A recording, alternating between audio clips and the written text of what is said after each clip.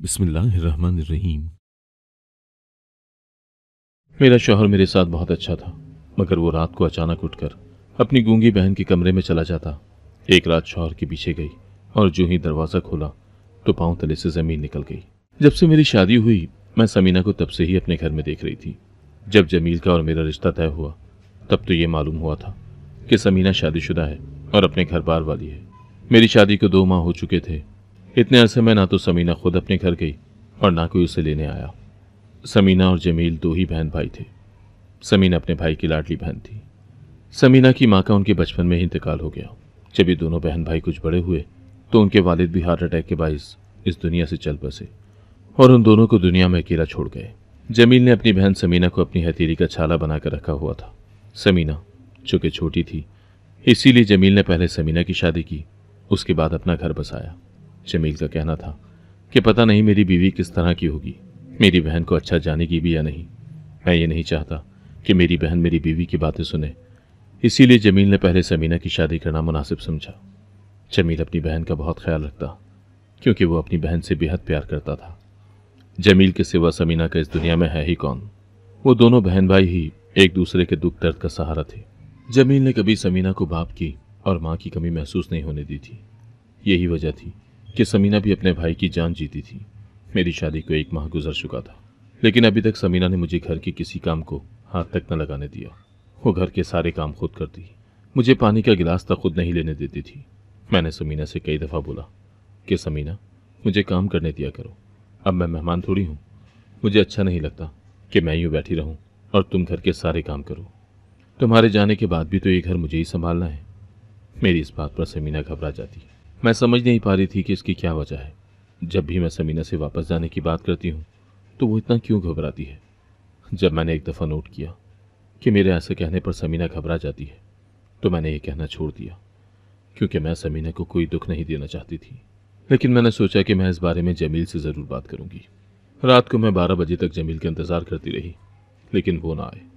जमील का ये रोज़ का मामूल था कि वो स्टोर से लेट लौटते थे। जमील का अपना मेडिकल स्टोर था। जो कि उसने बहुत मेहनत से बनाया था। मैं इंतज़ार करने के बाद सोने के लिए भी लेटी ही थी कि मुझे दरवाज़ा खुलने की आवाज़ आई। मैं जल्दी से उठकर बाहर आई तो मैंने देखा कि जमील अपनी बहन के कमरे से निकल रहे हैं। ये देखकर मुझे बहुत गुस्सा आया कि मैं कब से इंतज़ार कर रही हूँ और ये अपनी बहन के कमरे में बैठे हुए थे। जमील मुझे देखकर मुस्कुराने लगे और मेरी तरफ़ आए। मैं दूसरी तरफ़ मुकरते हुए बोली, मैं कब से आपका इंतज़ार कर रही हूँ? मुझे ये तक नहीं मालूम कि मेरे शोहर घर में ही मौजूद हैं। तो जमील बोला वो मैं समीना के पास चला गया था। सोचा कुछ देर बैठकर बातें ही कर लूँ तो मैं बोली, आप समीना से क्या बातें करेंगे? गूँगी तो है वो। जमील को मेरी बात बहुत नागवार गुजरी। वो गुस्से से पैर पटाखता कमरे में चला गया। उस रात मैं जमील से समीना के बारे में बात करना चाहती थी, लेकिन ना कर पाई, क्योंकि जमील को अपनी बहन को गूँगी कहना बहुत बुरा लगा। उस रात जमील ने मुझसे कोई बात न की और करवट लेकर सो गया। मैं सोचने लगी कि गूँगी है तो गूँगी ही कहूँगी ना। इसमें बुरा मानने वाली कौन सी बात है? मैं भी एक तरफ़ करवट लेकर खामोशी से सो गई, क्योंकि मैं नहीं चाहती थी कि जमील का मूड मज़ीद ख़राब हो। अगले दिन मैं जल्दी उठी, ताकि जमील के लिए नाश्ता और कपड़े रेडी कर दूँ।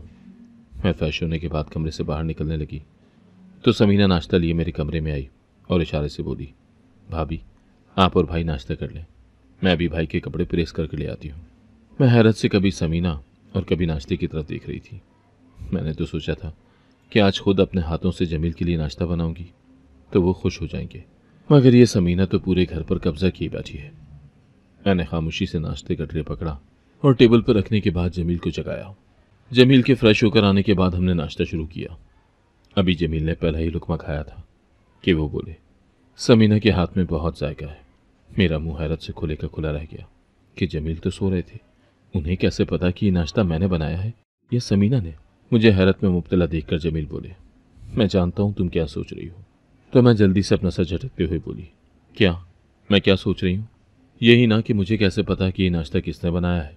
तो मैं बोली हाँ क्योंकि ऐसा नाश्ता तो मैं भी बना सकती हूँ। तो जमील बोला, मैं शुरू से ही समीना के हाथ का पका खा रहा हूँ, इसीलिए मुझे अच्छे से पहचान है। और फिर खाने में जायके के साथ साथ समीना का भरपूर प्यार भी तो होता है। कुछ देर के बाद समीना जमील के कपड़े लेकर आई। समीना के हाथ में एक कागज़ का टुकड़ा था। जो उसने जमील की तरफ़ बढ़ाया। और न जाने इशारों से क्या बोली, कि जमील समझ गया। जमील ने कागज़ का टुकड़ा फोल्ड करके अपनी जेब में डाल लिया और बोला, ठीक है समीना, मैं शाम को आते हुए ये राशन लेते हुए आऊँगा। ये सब देखकर मुझे बहुत गुस्सा आया कि घर की मालकिन मैं हूँ और ये समीना को ये हुक्मरानी अपने घर में जाके करनी चाहिए। मैंने भी उसी दिन तहिया कर लिया कि घर के सारे काम मैं खुद करूँगी और रात का खाना भी खुद अपने हाथों से बनाऊँगी। देखना, जमील खुश हो जाएँगे। जमील को भी पता चले कि किसके हाथ में ज़्यादा जायका है। समीना ने घर के सारे काम निपटाए और मैं शाम के खाने की तैयारी करने लगी। अभी खाना तैयार भी नहीं हुआ था कि जमील आ गए। अभी वो आकर बैठे ही थे कि समीना जल्दी से पानी ले आई। मैंने जमील से पूछा, खैरियत तो है? आज आप इतना जल्दी आ गए? जमील कहने लगा, जाओ तुम जल्दी से तैयार हो जाओ। आज हम खाना बाहर खाएँगे। मैं बोली, लेकिन जमील, मैंने तो आज खुद अपने हाथों से खाना बनाया है। जो कि आपकी पसंद का है। तो जमील बोला समीना है ना घर पर, वो खा लेगी। वैसे भी हमारी शादी को काफ़ी देर गुजर चुकी है। हम कहीं घूमने के लिए बाहर नहीं गए। मेरे तो जहन में ही नहीं था। ये तो मुझे समीना ने कहा कि आप भाभी को घुमाने के लिए बाहर ले जाएँ। मैं गुस्से से समीना की तरफ़ देखने लगी। मुझे लगा कि शायद वो चाहती ही नहीं कि जमील मेरे हाथ का खाना खाए या मेरी तारीफ़ करे। सारी तारीफें तो वो खुद समेटना चाहती है, जमील बोला। जाओ ना, जल्दी से तैयार होकर आओ। मैं तैयार होने के लिए कमरे में आई तो मुझे सौ वॉट का करंट लगा। जब मैंने देखा कि मेरा ड्रेस अलमारी के साथ हैंगर में प्रेस करके लटक रहा था, मुझे बहुत गुस्सा आया कि अब समीना फैसला करेगी कि हमें कब बाहर जाना है और मुझे कौन सा ड्रेस पहनना है। हालाँकि वो ड्रेस बहुत प्यारा था और मुझे पसंद भी था, लेकिन मैंने वो ना पहना। जब मैं तैयार होकर नीचे गई तो जमील बोला, वो जो मैंने तुम्हें शादी के बाद ड्रेस गिफ्ट किया था, वो क्यों नहीं पहना? तो मैं खामोश रही। जमील बोला, जाओ ना, वो ड्रेस पहन कर आओ, तुम पर बहुत सूट करेगा। मैंने बहुत शौक से तुम्हारे लिए ख़रीदा था। मैं वापस कमरे में गई और वो ड्रेस ना चाहते हुए भी पहन कर आई, क्योंकि मैं जमील को मायूस नहीं करना चाहती थी। बेशक जमील बहुत अच्छे थे, लेकिन जब वो हर बात में समीना को लेकर आते तो मुझे गुस्सा आ जाता, क्योंकि मुझे समीना से चिड़सी होने लगी थी। मुझे लगता था कि जैसे वो मेरे घर पर कब्जा करके बैठी है। जब मैं ड्रेस पहन कर आई तो जमील ने जी भर कर मेरी तारीफ़ की। तब तो मुझे खुद ही से शर्म महसूस होने लगी कि शायद मैं समीना के बारे में गलत सोचती हूँ। क्योंकि वो ड्रेस समीना ने ही मेरे लिए निकाल कर प्रेस किया था, और उसने ही अपने भाई को बोला था कि वो मुझे बाहर लेकर जाए। उस दिन मैं और जमील बाहर गए, और हमने खूब सैर तफरी की। जमील ने मुझे खूब सारी शॉपिंग भी करवाई, लेकिन शॉपिंग के दौरान जमील समीना को ना भूला। जो जो जमील ने मुझे लेकर दिया, वही कुछ अपनी बहन के लिए भी लिया। शॉपिंग करते करते काफ़ी टाइम हो चुका था। जब हम घर वापस आ रहे थे तो मैंने समीना के बारे में जमील से बात की कि समीना कब तक अपने घर वापस चली जाएगी। तब मैंने देखा कि जमील के माथे पर गुस्से की शिकने नुमाया थी। वो बोले, क्यों? तुम्हें समीना के हमारे साथ रहने पर कोई एतराज़ है? तो मैंने कहा, नहीं, कोई एतराज़ तो नहीं, लेकिन वो शादीशुदा है। उसे अपने घर में रहना चाहिए। जब से हमारी शादी हुई है, वो हमारे घर पर ही रह रही है। तो जमील बोला, वो सिर्फ़ तुम्हारा ही घर नहीं, बल्कि जितना उस घर पर तुम्हारा हक है, उतना ही समीना का भी है। तो मैं बोली, लेकिन जमील? तो जमील मेरी बात काटते हुए गुस्से से बोला आज तो तुमने ये बात कर दी। आइंदा कभी भी मैं तुम्हारे मुँह से ये बात ना सुनूं, क्योंकि मैं अपनी बहन के बारे में कोई भी बात बर्दाश्त नहीं करूँगा, और वैसे भी मेरी बहन मुझ पर बोझ नहीं है। वो जितनी देर चाहे यहाँ पर रुक सकती है। जब उसका दिल करेगा, वो अपने घर चली जाएगी। मैं खामोश हो गई, क्योंकि जानती थी कि जमील अपनी बहन के बारे में कभी भी कोई बात बर्दाश्त नहीं करेगा। इसीलिए मैंने खामोश होने में ही आफियत जानी। घर लौटते हुए हमें काफ़ी रात हो चुकी थी, और सर्दी इस कदर ज़्यादा थी कि गर्म कपड़े पहनने के बावजूद भी हम सर्दी से थर थर काँप रहे थे। वो तो शुक्र है कि आते हुए समीना ने मुझ पर गर्म शाल उड़ा दी थी, वरना पता नहीं सर्दी से मेरा क्या हाल होता। अभी हम लोग घर पहुँचे ही थे कि समीना ने जल्दी से हीटर जलाया और हम दोनों के लिए चाय बनाई। चाय पीने के बाद मैं फ़ौरन बिस्तर पर लेट गई और मुझे पता ही न चला कि मैं कब नींद की वादियों में चली गई। आधी रात को जब मेरी आँख खुली तो मैंने देखा कि जमील मेरे पहलू में मौजूद नहीं है। मुझे लगा कि शायद वो वॉशरूम गए होंगे। काफ़ी देर गुजरने के बाद भी जब जमील ना आए तो मेरे दिमाग में आया, ज़रूर वो समीना के कमरे में होंगे। अभी मैं ये सोच ही रही थी कि जमील मुझे बाहर से आते हुए दिखाई दिए। मैंने कहा, कहाँ गए थे आप? आधी रात? खैरियत तो है ना? तो जमील बोले, कुछ नहीं, बस ऐसे ही दिल घबरा रहा था तो मैं बाहर चला गया था। तो मैं अपने ऊपर कंबल उड़ते हुए बोली, हॉल में गए थे या फिर समीना के पास? मैंने तो मुँह में बड़बड़ाया था, लेकिन जमील ने मेरी बात सुन ली तो वो बोला अगर मैं उससे मिलने चला भी जाऊँ तो उसमें कौन सी बुराई है? तुम्हें आखिर समीना से मसला क्या है? ना तो बेचारी तुम्हें कुछ कहती है, और ना घर का कोई काम तुम्हें करने देती है। तुम्हारी नौकरानी बनकर वो इस घर में रह रही है। लेकिन फिर भी तुम उससे खुश नहीं हो। जिस दिन वो इस घर से चली गई, और पूरे घर की ज़िम्मेदारी तुम पर आ गई, उस दिन तुम्हें पता चलेगा। मैं बोली अच्छा ज़्यादा तरफदारी ना करें अपनी बहन की, और सो जाएँ। रात काफ़ी हो चुकी है। सुबह को जब मैं उठी तो जमील स्टोर जा चुके थे। मुझे टाइम का अंदाज़ा ही ना हुआ। कुछ देर के बाद समीना नाश्ता लेकर कमरे में आई। तो मैं बोली, समीना, आज के बाद मेरा नाश्ता कमरे में मत लाना। जब मेरा दिल करेगा, मैं नाश्ता कर लिया करूँगी। मैं कोई माजूर नहीं हूँ और ना मैं तुमसे अपनी खिदमतें करवाना चाहती हूँ। अगर तुम्हें खिदमत करने का इतना ही शौक है तो बस अपने भाई की ही कर लिया करो। आज के बाद मेरा कोई काम करने की ज़रूरत नहीं है। समीना हाथों से इशारा करती रही, लेकिन मैं उसकी कोई भी बात समझने को तैयार न थी। मैंने उसे साफ़ अल्फाज में बता दिया कि यह घर मेरा है और यहाँ सिर्फ़ मेरी मर्ज़ी ही चलेगी। समीना के जाने के बाद मैं फ्रेश होने के लिए उठी तो मुझे एकदम से चक्कर आया और मैं दोबारा बेड पर गिर गई। मुझमें उठने की हिम्मत ही नहीं थी। मुझे समझ ही नहीं आ रहा था कि मुझे क्या हो रहा है। रात तक तो मेरी तबीयत बिल्कुल ठीक थी, लेकिन अब अचानक पता नहीं मुझे क्या हो गया। मैं हिम्मत करके दोबारा उठी और फ्रेश होने के बाद नाश्ता करने लगी। अभी मैंने सिर्फ़ दो ही लुक में खाए थे कि मुझे वॉमिटिंग आने लगी। मैं भागती हुई वॉशरूम में चली गई। मेरा जिसम बिल्कुल बेजान हो चुका था। मुझे ऐसा लग रहा था कि बस अभी मेरी जान निकल जाएगी। मैंने समीना को आवाज़ दी। शायद समीना मेरे कमरे के आसपास ही थी। इसीलिए उसने फ़ौरन मेरी आवाज़ सुनी और कमरे में आई। मेरी यह हालत देखकर वो भी परेशान हो गई और मुझसे इशारे से पूछने लगी कि, भाभी, क्या हो गया है आपको? मैं बोली, पता नहीं। तुम बस जल्दी से अपने भाई को फ़ोन करो कि मुझे डॉक्टर के पास ले जाएँ। समीना ने जल्दी से जमील का नंबर डायल किया और मोबाइल मेरे कान को लगाया। मैं बोली जमील जल्दी घर आ जाए। मेरी तबीयत बहुत ख़राब है। अगले दस मिनट में जमील घर पहुँच गया था और मुझे डॉक्टर के पास ले गया। समीना भी मेरे साथ थी। उस वक्त समीना ने मुझे बहुत संभाला। काफ़ी देर के बाद जब हमारी बारी आई तो मैं और समीना डॉक्टर के रूम में गई। चेकअप के बाद डॉक्टर ने कुछ टेस्ट लिख कर दे दिए। मैं बोली डॉक्टर साहिबा, सब ठीक तो है ना? ये टेस्ट करवाने का क्या मकसद है? तो डॉक्टर बोली, मुबारक हो, आप माँ बनने वाली हैं। और ये टेस्ट बहुत ज़रूरी है।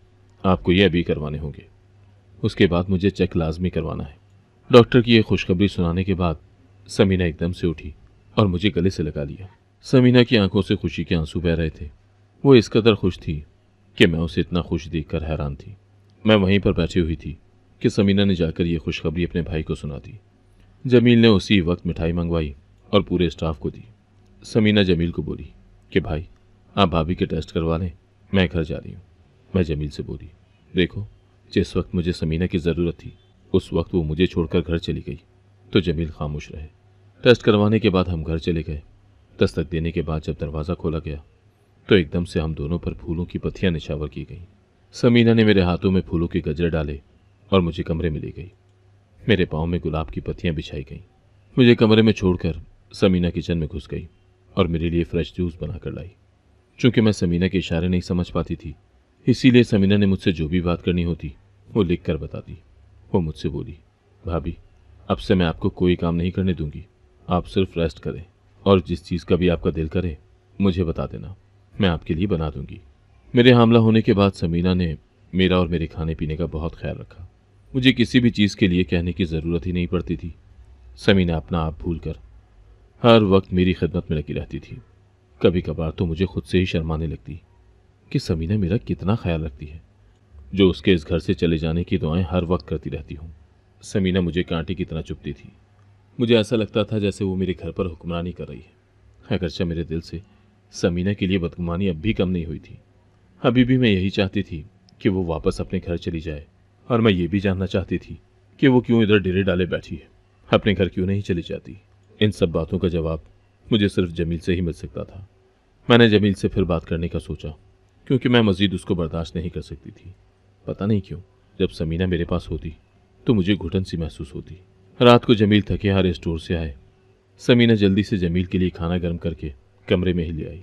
जमील मुझसे बोले, क्या तुमने खाना खा लिया है? मैंने ना चाहते हुए भी झूठ बोल दिया, कि मैंने तो अभी तक नहीं खाया। कुछ देर के बाद समीना जमील के लिए चाय लेकर आई तो जमील समीना से बोले, समीना तुम अपनी भाभी को खाना टाइम पर दिया करो। तुम जानती हो कि ये पहले से ही कितनी वीक है, और अगर इसकी डाइट अच्छी ना रही तो ये मज़ीद वीक हो जाएगी। समीना ने हाँ में सर हिलाया और बर्तन समेट कर चली गई। मैं बहुत खुश हुई, क्योंकि मैं समीना के भाई के दिल में समीना के खिलाफ बदगुमानी डाल चुकी थी। हालाँकि मुझे समीना तीनों वक्त टाइम पर खाना जूस और फल वगैरह देती थी। उसने कभी भी मेरे किसी काम में कोताही नहीं बरती थी। इन सब के बावजूद भी न जाने वो मुझे क्यों नहीं बाती थी? जब बर्तन समेटने के बाद समीना कमरे से चली गई तो मैंने बातों ही बातों में जमील से पूछा कि, जमील, आखिर समीना वाला मामला क्या है?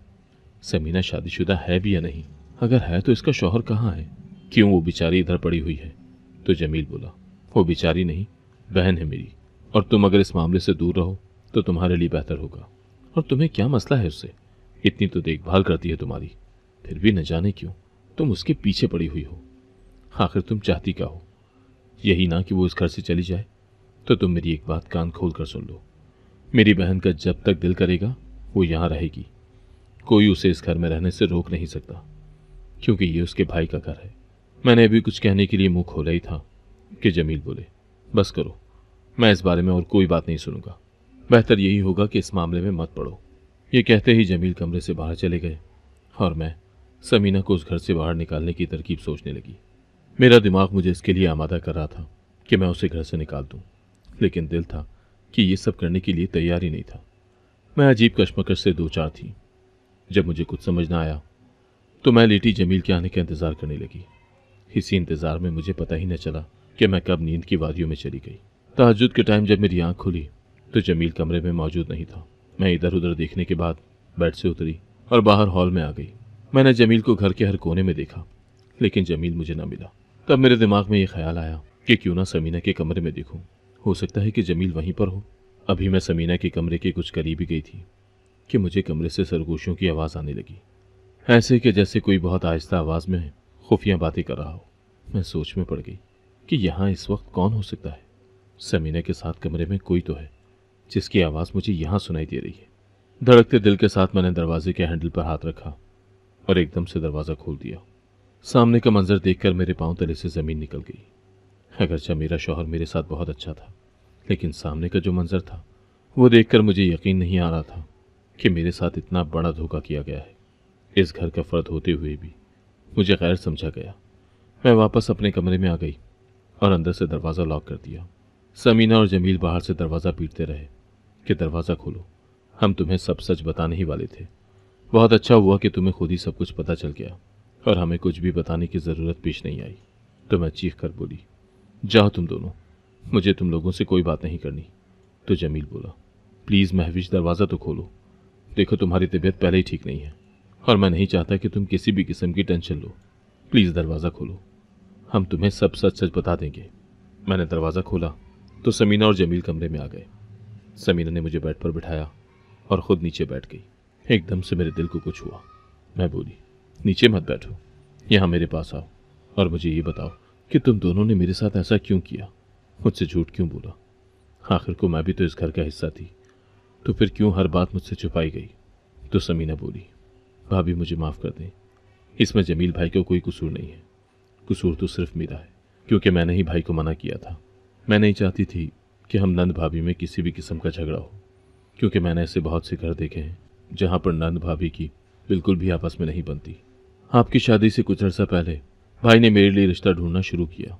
जो लोग भाई को पसंद आए बाहिर तो बहुत अच्छे थे, लेकिन उनकी अच्छाई शादी से पहले तक बरकरार रही। अभी मेरी शादी को सिर्फ़ एक साल ही हुआ था कि मेरी सास मुझसे बोली कि अगर इस दफ़ा तुम माँ ना बन सकी तो मैं तुम्हें घर से निकाल दूँगी। मेरे शौहर के यहाँ होते हुए तो वो ऐसा ना कर सकी। लेकिन जैसे ही मेरे शौहर लंदन चले गए तो उन्होंने मुझे घर से निकाल दिया और कहा कि बहुत जल्द तलाक के कागजात तुम्हें मिल जाएँगे। मैं चुपचाप यहाँ भाई के पास आ गई। लेकिन मेरे शोहर ने बोला कि जब वो वापस आएँगे तो मुझे अलग घर में रखेंगे। आपकी शादी से पहले मैंने भाई से वादा लिया था कि वो आप लोगों को यही बताएँगे कि मैं गूँगी हूँ, और ऐसा ही हुआ। भाई ने मेरा भरपूर साथ दिया। जब मैं और भाई होते तो मैं भाई से अपने दिल की बातें कर लेती, लेकिन आपके सामने ज़बान नहीं खोलती थी, क्योंकि मैं जानती थी कि नंद और भाभी का रिश्ता बहुत ही नाजुक होता है। मैं नहीं चाहती थी कि मैं आपके सामने कुछ भी बोलूँ और आपको बुरा लगे। इसीलिए बेहतरी इसी में थी कि मैं आपके सामने गूँगी बनकर रहती और रही बात मेरे यहाँ से जाने की तो मेरा शौहर मुझे बहुत जल्द यहाँ से ले जाएगा। मैंने शर्मिंदगी के मारे अपनी नज़रें झुका ली, क्योंकि समीना का एक एक लफ्ज़ बिल्कुल सच था। मैं शुरू से ही यही चाहती थी कि समीना वापस अपने घर चली जाए। मेरी आँखों में आँसू आ गए और मैं बोली, समीना, तुम बिल्कुल सच कह रही हो। मैं यही चाहती थी कि तुम अपने घर चली जाओ। मैं तुम्हारा घर बसता हुआ देखना चाहती थी। नंद और भाभी का रिश्ता इतना बुरा भी नहीं होता, जितना कि हम लोगों ने बना दिया है। मुझे माफ़ कर दो। मैंने तुम्हारे मोहब्बत और तुम्हारे खुलूस का ये सिला दिया तुम्हें तो समीना बोली, भाभी, कोई बात नहीं। हम इंसान हैं, और इंसानों से छोटी मोटी गलतियाँ और भूल चूक होती रहती हैं।